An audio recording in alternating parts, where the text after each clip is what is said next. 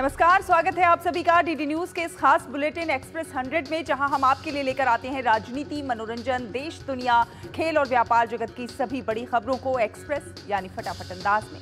मैं हूँ शहला निगार, आइए खबरों को देख लेते हैं तेज रफ्तार के साथ। बीजेपी ने आज पश्चिम बंगाल में सुबह छह बजे से शाम छह बजे तक आम हड़ताल का किया आह्वान। राज्य सचिवालय तक मार्च में भाग लेने वाले लोगों पर पुलिस कार्रवाई के खिलाफ ये आंदोलन। दूसरी तरफ़, बंगाल सरकार ने राज्य के लोगों से इस बंद में भाग नहीं लेने का आग्रह किया है। सरकार ने कहा है कि प्रशासन ये सुनिश्चित करेगा कि बंद के कारण सामान्य जनजीवन प्रभावित न हो। भाजपा नेता अग्निमित्रा पॉल ने राज्य सरकार के विरोध में भाजपा द्वारा बुलाए गए 12 घंटे के बंगाल बंद की समीक्षा की। अग्निमित्रा पॉल ने कहा कि कोलकाता पुलिस ने सुप्रीम कोर्ट के आदेश का उल्लंघन किया।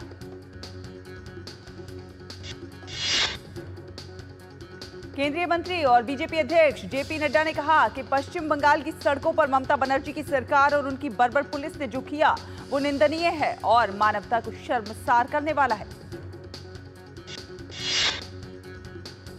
जेपी नड्डा ने उम्मीद जताई है कि सामान्य नागरिकों की भावनाओं को ध्यान में रखते हुए बीजेपी के बंगाल बंद के साथ बंगाल की जनता उनके साथ खड़ी रहेगी।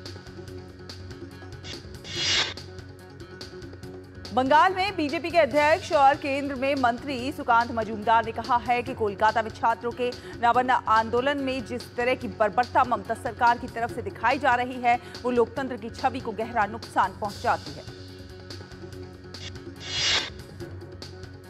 केंद्रीय मंत्री सुकांत मजूमदार ने कहा कि बंगाल में महिला सुरक्षा पर बोलना अपराध जैसा है, जबकि ममता राज में दुष्कर्म और हत्या की घटनाएँ आम हो गई बंगाल विधानसभा में विपक्ष के नेता शुभेंदु अधिकारी ने कहा कि अगर ममता सरकार द्वारा बर्बरता नहीं रोकी गई तो पश्चिम बंगाल को ठप कर दिया जाएगा। पश्चिम बंगाल के गवर्नर आनंद बोस ने कहा कि न्याय लोगों का अधिकार है। प्रदर्शन रोकने के लिए सरकार ने अत्यधिक पुलिस बल का प्रयोग किया। राज्यपाल ने कहा कि परिस्थिति जियो और जीने तो की है। डॉक्टरों की सुरक्षा को लेकर गृह सचिव और स्वास्थ्य सचिव की सह अध्यक्षता में आज उच्च स्तरीय बैठक बुलाई गई है। वीडियो कॉन्फ्रेंस के ज़रिए राज्यों में मुख्य सचिव और पुलिस महानिदेशक शामिल होंगे। स्वास्थ्य मंत्रालय ने देश भर में व्यक्तियों और विभिन्न हितधारकों से सुझाव मांगने के लिए अपनी वेबसाइट पर एनटीएफ के लिए सुझाव शीर्षक के अंतर्गत एक राष्ट्रीय पोर्टल बनाया है। राष्ट्रीय पोर्टल प्राप्त सुझावों को स्वास्थ्य मंत्रालय द्वारा एनटीएफ के सदस्यों के विचार विमर्श के लिए भेजा जाएगा, जहाँ विभिन्न प्रमुख हितधारकों के साथ व्यापक परामर्श होगा। प्रधानमंत्री जनधन योजना के 10 साल पूरे होने का आज जश्न मनाया जा रहा है। योजना से जुड़े कुछ सवालों का जवाब देकर कोई भी इनाम जीत सकता है। वित्त मंत्री निर्मला सीतारमन ने कहा है कि जनधन योजना दुनिया की सबसे बड़ी वित्तीय समावेशन पहलों में से एक है। मार्च 2015 में प्रति खाते में औसत बैंक बैलेंस एक हज़ार पैंसठ था, जो अब बढ़कर चार हज़ार तीन सौ बावन हो गया है। सुप्रीम कोर्ट में आज पीएमएलए फैसले के खिलाफ समीक्षा याचिकाओं पर सुनवाई होगी। कई याचिकाओं में जुलाई 2022 के फैसले की समीक्षा की मांग की गई है। दो साल पहले 2022 के पीएमएलए फैसले ने 2002 के अधिनियम के तहत ईडी को दी गई व्यापक शक्तियों की पुष्टि की है। वर्ष 2002 के अधिनियम के तहत ईडी को व्यक्तियों को बुलाने, गिरफ्तारियाँ करने, छापे मारने और संदिग्धों की संपत्ति जब्त करने का अधिकार मिला था। कर्नाटक में बीजेपी ने मार्च 2024 में कांग्रेस अध्यक्ष मल्लिकार्जुन खड़गे के परिवार द्वारा संचालित ट्रस्ट को कर्नाटक औद्योगिक क्षेत्र विकास बोर्ड की साइट दिए जाने पर सवाल उठाए हैं। भाजपा का आरोप है कि कर्नाटक में खड़गे परिवार के एक ट्रस्ट को कर्नाटक औद्योगिक विकास बोर्ड ने पाँच एकड़ ज़मीन बेंगलुरु के हाईटेक डिफेंस एरोस्पेस पार्क में दी गई है, जबकि ये ज़मीन एससी कोटे के तहत नागरिक सुविधाओं के लिए आरक्षित थी बीजेपी ने कर्नाटक ज़मीन घोटाले का आरोप लगाते हुए कांग्रेस अध्यक्ष मल्लिकार्जुन खड़गे, उनके मंत्री बेटे प्रियंक खड़गे और राज्य के मुख्यमंत्री सिद्धारमैया के इस्तीफे की मांग की है।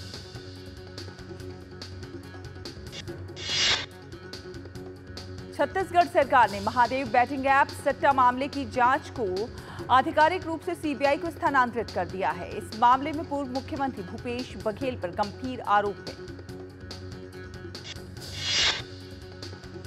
झारखंड के पूर्व मुख्यमंत्री चंपई सोरेन ने भाजपा में शामिल होने पर, होने के फैसले पर कहा है कि उन्हें प्रधानमंत्री पर विश्वास है।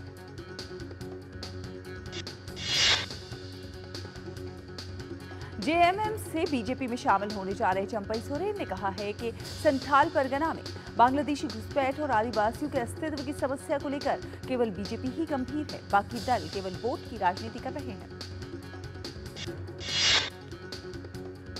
चंपई सोरेन ने जेएमएम छोड़ने को लेकर कहा कि पार्टी में कोई ऐसा फोरम या मंच नहीं था जहाँ वो अपनी पीड़ा को व्यक्त कर पाते। पार्टी के सीनियर नेता स्वास्थ्य कारणों से राजनीति से दूर हो चुके हैं। दुमका में झारखंड के मुख्यमंत्री हेमंत सोरेन ने मीडिया के सवालों के जवाब में कहा कि हमने क्या किया, नहीं किया। इसका फैसला राज्य की जनता, महिला और युवा करेंगे। जम्मू कश्मीर में विधानसभा चुनाव के पहले चरण के लिए दाखिल नामांकन पत्रों की आज जाँच होगी। पहले चरण की वोटिंग 18 सितंबर को है।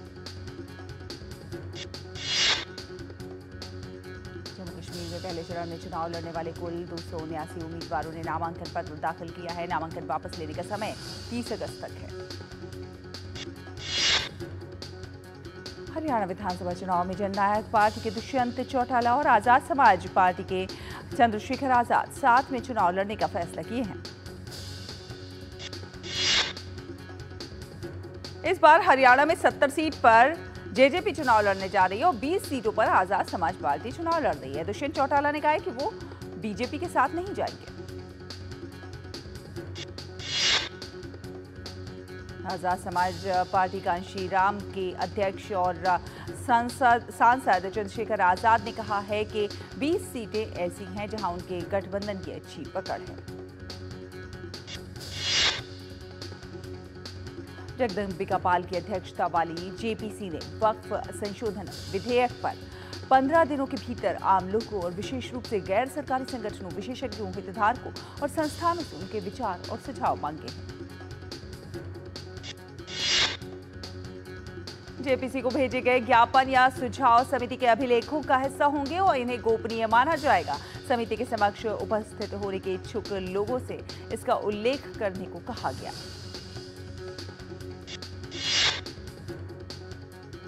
कुमार को रेलवे बोर्ड का नया अध्यक्ष और सीईओ नियुक्त किया गया है।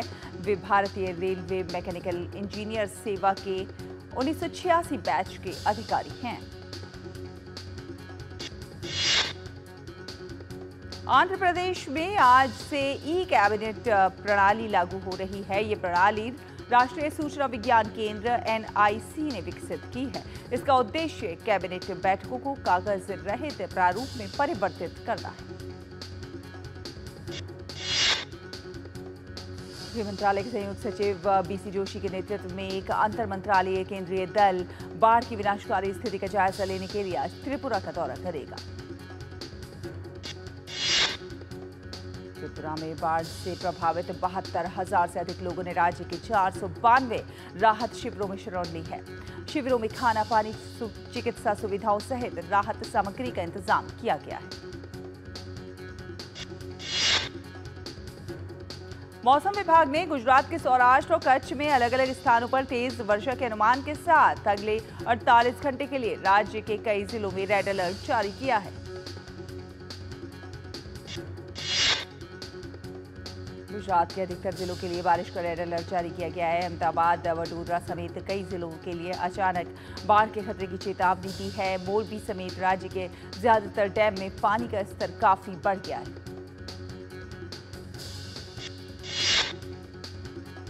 गुजरात में निचले इलाकों में रहने वाले तेईस हज़ार से अधिक लोगों को सुरक्षित स्थानों पर पहुँचाया गया है और सोलह हज़ार से अधिक लोगों को बचाया गया है। बिहार में भागलपुर, मुंगेर, पश्चिम चंपारण, खगड़िया, कटिहार और कुछ अन्य जिलों में बाढ़ से हज़ारों लोग विस्थापित हो गए हैं। गंगा, गंडक कोशी महानंदा खतरे के निशान से ऊपर बह रही हैं।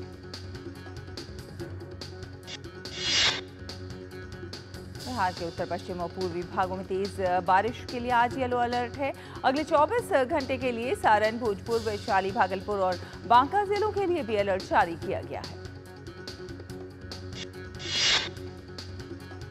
दिल्ली एनसीआर में देर रात कई हिस्सों में झमाझम बारिश हुई, इसके चलते कई हिस्सों में जल भराव हो गया है। आवागमन भी प्रभावित हुआ है। विभाग के अनुसार दिल्ली एनसीआर में रहने वाले लोग इस पूरे हफ़्ते बारिश के लिए तैयार रहे 30 अगस्त तक बारिश का अनुमान है। सीबीआई ने आयकर विभाग के प्रधान आयुक्त संतोष कुमार और चार अन्य को विभिन्न कर निर्धारणकर्ताओं से 10 लाख रुपए की रिश्वत लेने के आरोप में गिरफ़्तार किया है। सीबीआई के अनुसार संतोष कुमार पर आरोप है कि वो अपने अधिकार क्षेत्र के तहत अपने पद का दुरुपयोग करके विभिन्न निर्धारणकर्ताओं को अनुचित लाभ पहुँचाने के लिए कथित रूप से रिश्वत मांग रहे थे।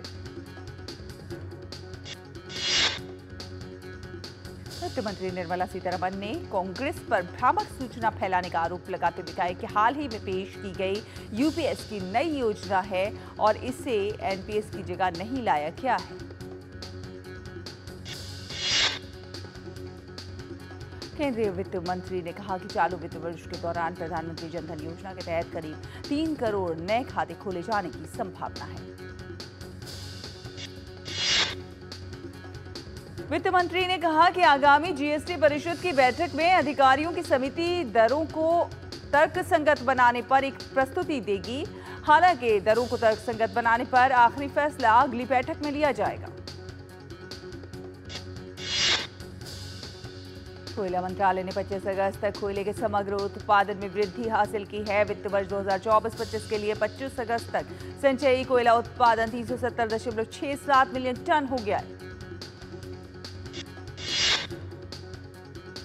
तकनीकी वस्त्र के क्षेत्र में उभरते अन्वेषकों के लिए अनुसंधान एवं उद्यमिता हेतु अनुदान योजना के तहत चार स्टार्टअप्स को मंजूरी दी गई है और हर स्टार्टअप को लगभग 50 लाख रुपए के अनुदान दिया गया है। फ़िलहाल एक छोटा सा ब्रेक। ब्रेक के उस पार खबरों का सफ़र जारी रहेगा। देखते रहिए एक्सप्रेस हंड्रेड। बात जब पीढ़ियों के लिए बनने वाले घर की हो तो ज़िम्मेदारी बड़ी हो जाती है। गैलेंट समझता है ये ज़िम्मेदारी। अब डबल एम रिब्स के साथ। गैलेंट एडवांस टीएमटी रीबार निर्माण का रियल हीरो सुरक्षा की गारंटी हर चीज़ में ज़रूरी है। चाहे वो मुश्किल स्टंट हो या अच्छी फ़सल। इसीलिए ले आइए आईआईएल के ट्रैक्टर ब्रांड का शिनबार। जो देता है सुंडी और ट्रिप से सुरक्षा की गारंटी। भारत में सालाना हज़ारों लोग हाथी पाँव नाम की बीमारी की चपेट में आकर जीवन भर के लिए अपाहिज हो जाते हैं। हाथी पाँव एक मच्छर के काटने से फैलता है। हाथी पाँव का कोई इलाज नहीं है। साल में सिर्फ़ एक बार सरकार द्वारा दी हुई मुफ़्त दवाएँ खाएँ और इस बीमारी से अपने आप को और अपने परिवार को बचाएँ। 10 अगस्त को हाथी पाँव से बचाव की दवा अवश्य खाएँ। अपने आप को और अपने परिवार को इस दर्दनाक बीमारी से बचाएँ। भारत सरकार द्वारा जनहित में जारी। के बाद स्वागत है आपका। आप देख रहे हैं एक्सप्रेस हंड्रेड तो करेगी कुछ अन्य खबरें। एबीसी की बैठक में तकनीकी वस्तुओं में शैक्षणिक संस्थानों को सक्षम बनाने के लिए सामान्य शिक्षा निर्देशों के तहत तकनीकी वस्तुओं में पाठ्यक्रम शुरू करने के लिए पाँच शिक्षण संस्थानों को लगभग 20 करोड़ रुपए के अनुदान को भी मंजूरी दी गई है। दूरसंचार नियामक क्राई की तरफ़ से बुलाई गई बैठक में प्रचार के लिए वॉइस रोबो और प्री रिकॉर्डेड कॉल करने वाले स्पैम कॉलर पर तत्काल कार्रवाई करने के बारे में भी चर्चा की गई। जेसीओआर की बैठक में आरबीआई से भी इर्डा पीएफआरडीए उपभोक्ता मामलों के मंत्रालय और इलेक्ट्रॉनिक्स एवं आईटी मंत्रालय शामिल हैं। सेबी ने राणा शुगर्स और उसके प्रवर्तकों को, अधिकारियों को प्रतिभूति बाज़ार से दो साल के लिए प्रतिबंधित किया। इसके अलावा कोष की हेराफेरी के ज़रिए के लिए तिरसठ करोड़ रुपए का जुर्माना भी लगाया। देश के प्रमुख बंदरगाहों के बंदरगाह एवं गोदी कर्मचारी संगठनों ने आज से प्रस्तावित अपनी अनिश्चितकालीन हड़ताल टाली। वाणिज्यिक इलेक्ट्रिक वाहन निर्माता यूलर मोटर्स ने छोटे वाणिज्यिक वाहन खंड में उतरने की घोषणा की। यूलर मोटर्स ने कहा कि उसका नया एस लागत प्रभावी और उच्च प्रदर्शन वाले अंतर शहर परिवहन समाधान की बढ़ती मांग को पूरा करने के लिए डिज़ाइन किया जाएगा। आईफोन विनिर्माता एप्पल ने भारतीय मूल के केवन पारेख को अपना नया मुख्य वित्तीय अधिकारी नियुक्त किया।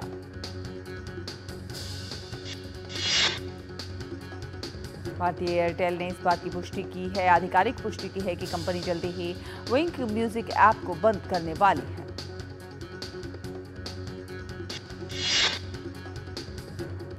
भारतीय एयरटेल ने कहा है कि विंक म्यूज़िक ऐप और विंक म्यूज़िक के कर्मचारियों को एयरटेल कंपनी के इकोसिस्टम में लाया जाएगा। हिंदुस्तान यूनिलीवर को आयकर विभाग से नौ करोड़ रुपए का टैक्स नोटिस मिला है। इसमें तीन करोड़ रुपए का ब्याज भी शामिल है।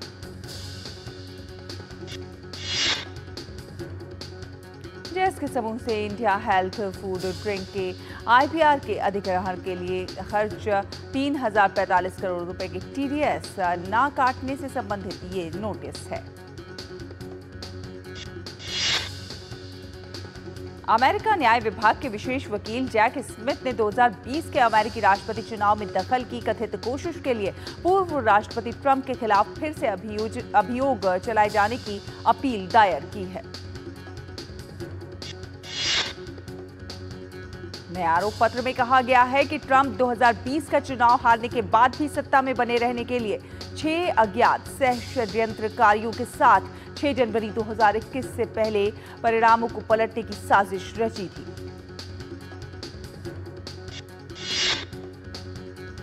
उत्तर कोरिया लगातार अपने हथियारों के जखीरे को बढ़ाने में लगा हुआ है और इसी क्रम में उत्तर कोरिया ने अपग्रेडेड 240 एमएम रॉकेट लॉन्चर प्रणाली का सफलतापूर्वक परीक्षण किया है। उत्तर कोरिया ने उन्नत रॉकेट लॉन्चर प्रणाली से अपने लक्ष्य के प्रति एकाग्रता को सिद्ध किया है। सप्ताह की शुरुआत में उत्तर कोरिया के शासक ने किम जोंग उन के नए आत्मघाती ड्रोन के परीक्षणों का निरीक्षण किया।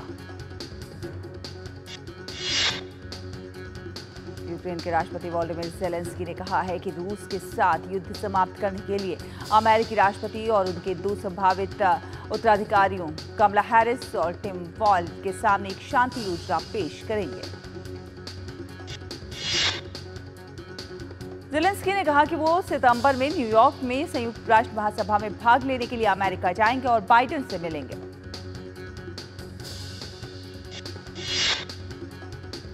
पूर्व रिपब्लिकन राष्ट्रपति के 200 से अधिक कर्मचारियों ने आगामी चुनाव में डोनाल्ड ट्रंप की तुलना में भारतवंशी प्रत्याशी और डेमोक्रेट नेता कमला हैरिस का समर्थन करने का ऐलान किया।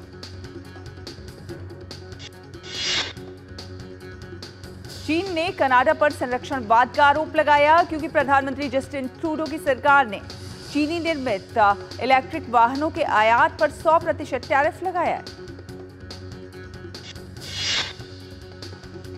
चीनी वाणिज्य मंत्रालय ने कहा है कि टैरिफ वैश्विक औद्योगिक और आपूर्ति श्रृंखलाओं की स्थिरता को बाधित करेगा। चीन, कनाडा आर्थिक और व्यापारिक संबंधों को गंभीर रूप से प्रभावित करेगा। पाकिस्तान के प्रधानमंत्री शहबाज शरीफ ने बलूचिस्तान में हुए आतंकवादी हमलों की निंदा करते हुए आतंकवाद को जड़ से खत्म करने का संकल्प दोहराया। बलूचिस्तान में हालिया हमलों में सैंतीस लोग मारे गए। इस बीच पाकिस्तानी सेना ने कहा है कि खैबर ज़िले में सुरक्षा बलों की कार्रवाई में 25 आतंकवादी ढेर हुए और 11 घायल हुए। पेरिस पैरालंपिक आज से शुरू होने जा रहे हैं। 8 सितंबर तक इन खेलों में दुनिया भर के 4000 से अधिक एथलीट पदक स्पर्धाओं में भाग लेंगे। पैरालंपिक खेलों के इतिहास में भारत ने इस बार चौरासी खिलाड़ियों का सबसे बड़ा दल भेजा है। उद्घाटन समारोह में सुमित अंतिल और भाग्यश्री यादव भारत के संयुक्त ध्वज वाहक होंगे। भारत के Jay Shah international cricket council के नए चेयरमैन बन गए हैं। जय शाह को निर्विरोध अध्यक्ष चुना गया है। जय शाह एक दिसंबर को आईसीसी चेयरमैन का पद संभालेंगे। जय शाह फ़िलहाल बीसीसीआई के सचिव हैं। वो आईसीसी के अध्यक्ष बनने वाले पाँचवें भारतीय हैं। हरमनप्रीत कौर टीम की कप्तानी में आईसीसी महिला टी ट्वेंटी विश्व कप के लिए भारतीय दल का ऐलान कर दिया गया है। तीन अक्टूबर से 20 अक्टूबर तक दुबई और शारजाह में खेले जाएँगे ये मुकाबले। भारतीय दल में शेफाली वर्मा, दीप्ति शर्मा जेमाइमा रॉड्रिक्स रिचर्ड घोष, पूजा वस्त्राकर अरुंधति रेड्डी, रेणुका सिंह ठाकुर, दयालन हेमलता, आशा शोभरा, राधा यादव और संजना संजीवन शामिल हैं। विकेट कीपर बल्लेबाज यस्तिका भाटिया और स्पिन ऑलराउंडर श्रियंका पाटिल को भी फिटनेस के मानदंड पूरा करने की शर्त पर टीम में शामिल किया गया है। भारत को प्रतियोगिता में ऑस्ट्रेलिया, न्यूजीलैंड, पाकिस्तान और श्रीलंका के साथ ग्रुप ए में रखा गया है। महिला टी ट्वेंटी विश्व कप के लिए इंग्लैंड ने अपनी टीम का चयन कर लिया इंग्लैंड ने अपनी टीम में स्पिनर लिंसी स्मिथ और wicket keeper batter Wes Heath को शामिल किया है। मोहन बागान ने रोमांचक जीत के साथ डूरेंट कप के फाइनल में स्थान बना लिया है। सेमीफाइनल में मोहन बागान ने बेंगलुरु एफसी को पेनल्टी शूटआउट में चार तीन से हरा दिया। निर्धारित समय की समाप्ति पर मैच दो दो की बराबरी पर रहा, जिसके बाद मैच का फैसला पेनल्टी शूटआउट में हुआ। फाइनल में मोहन बागान का सामना नॉर्थ ईस्ट यूनाइटेड से होगा। बार्सिलोना ने लालीगा में अपनी जीत के सिलसिले को कायम रखते हुए रायो बैलेकेनो को रोमांचक मुकाबले में दो एक से हरा दिया। इस जीत के साथ बार्सिलोना तीन जीत के साथ लीग में शीर्ष पर बनी हुई है। बार्सिलोना ने गोल से पिछड़ने के बाद वापसी करते हुए जीत हासिल की। बारसा के लिए पेड्री और राजानी अल्मो ने गोल किए। अल्मो ने बार्सिलोना के लिए डेब्यू करते हुए विजयी गोल किया। यूएस ओपन के पुरुष एकल में यानिक सिनर को पहले दौर में जीत हासिल करने के लिए कड़ी मेहनत करनी पड़ी। सिनर ने पहले दौर में अमेरिका के मैंकेजी मैकडोनल्ड को दो छः दो छः एक छः दो से हराया। पुरुष एकल में ही रूस के डेनिल मेदवेदेव को भी पहले दौर में जीत हासिल करने के लिए चार सेटों तक संघर्ष करना पड़ा। मेदवेदेव ने सर्बिया के तुसान लाजोविच को छह तीन तीन छह छह तीन, छह एक से शिकस्त देकर दूसरे दौर में प्रवेश किया।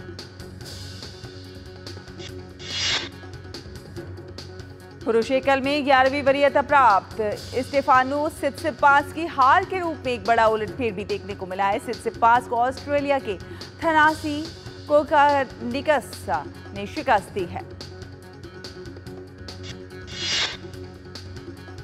महिला एकल में शीर्ष वरीयता प्राप्त पोलैंड की श्वांतेक ने आसान जीत के साथ अपने अभियान की शुरुआत की। श्वांतेक ने पहले दौर में रूस की कमिला राखेनोवा को सीधे सेटों में छह चार सात छह से शिकस्त दी।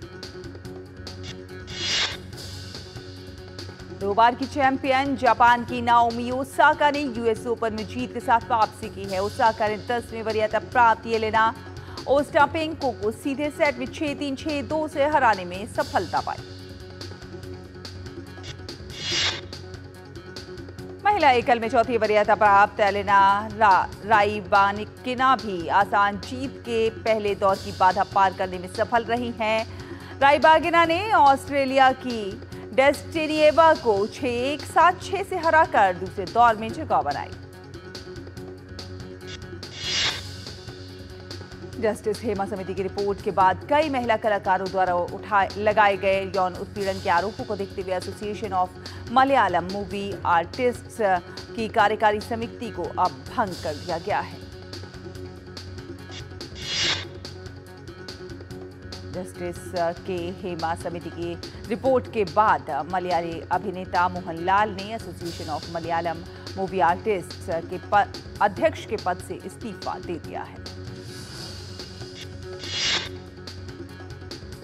करीना कपूर खान ने अपनी किताब प्रेगनेंसी बाइबल विवाद से जुड़े मामले में हाईकोर्ट के नोटिस का जवाब दिया है। उन्होंने कहा है कि उनकी मंशा किसी भी धार्मिक भावना आहत करने की नहीं है।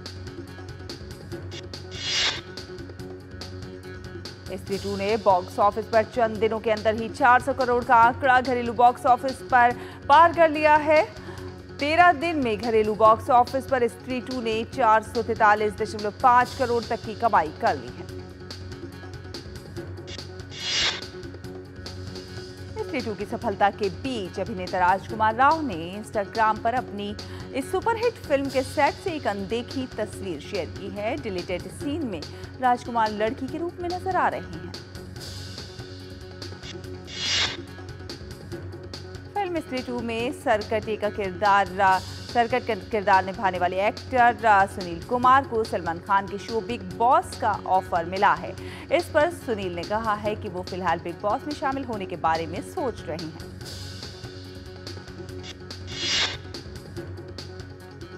अक्षय कुमार विष्णु मांझू की आगामी फ़िल्म, कन्नप्पा के साथ अपनी तेलुगु डेब्यू करने वाले हैं। फ़िल्म में सुपरस्टार प्रभास और मोहनलाल का भी कैमियो होने वाला है।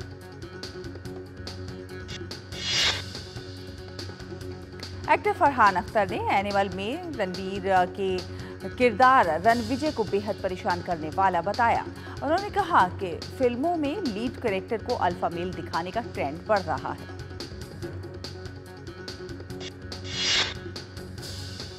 टीवी एक्ट्रेस नवीना बोले, शादी के सात साल बाद अपने पति जीत करनानी से अलग हो रही हैं और अभिनेत्री ने खुद इन खबरों की पुष्टि की है।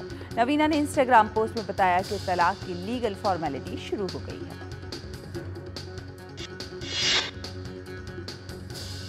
फ़िलहाल एक्सप्रेस न्यूज़ में इतना ही। डीडी न्यूज़ पर खबरों का सफ़र लगातार जारी है। देखते रहिए डीडी न्यूज़। नमस्कार।